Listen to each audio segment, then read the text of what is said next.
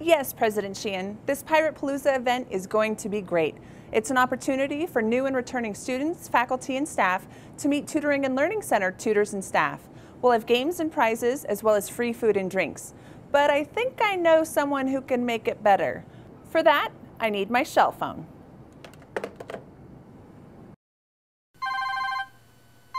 Oh, my cell phone. Hola. Is this Jack Sparrow? Captain Jack Sparrow, if you please.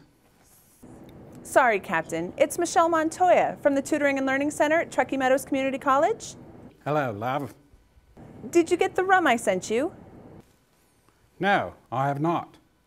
Well, it's on its way. I sent it first class via the Flying Dutchman.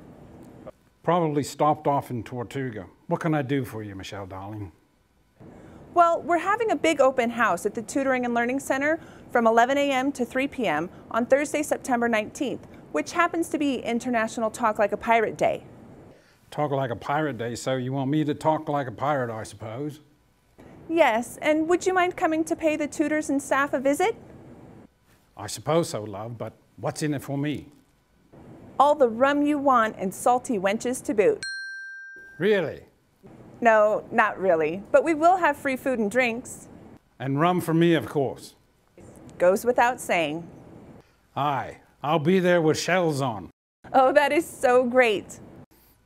When again? I have to put this on my calendar. Where's the button? Oh, there it is.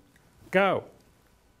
It's on Thursday, September 19th from 11 a.m. to 3 p.m.